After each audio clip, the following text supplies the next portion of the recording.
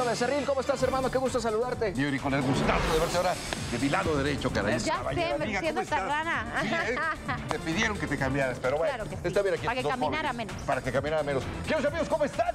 Un accidente movilizó a los servicios de emergencia sobre Avenida Chapultepec. Hay obras, hay mucho tráfico. Los dos vehículos desataron un caos vial. ¿Pero qué fue lo que sucedió? Lo único que me resta decir es, van a. ¡Vamos a verlo!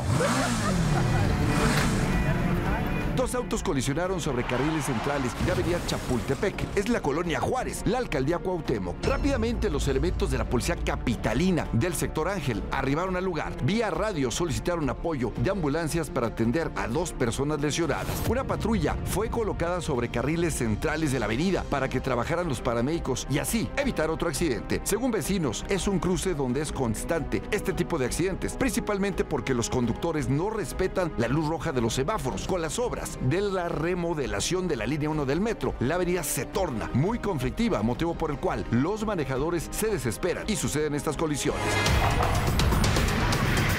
Elementos de la Secretaría de Seguridad Ciudadana están pidiendo que muevan el vehículo involucrado. El segundo vehículo también ha sido movido para reabrir la circulación de esta arteria. Por fortuna no hay lesionados de gravedad. Es avenida Chapultepec. Amigos, conduzcan con precaución, respetando el reglamento de tránsito. Esto les evitará tiempo, dinero, esfuerzo y un buen enojo. Yo soy el Diablo Becerril y esto es Al Extremo.